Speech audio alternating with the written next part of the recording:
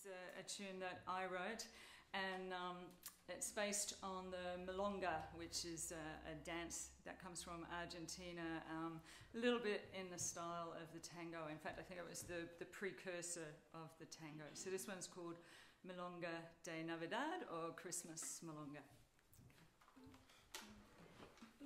Oh, one, a two.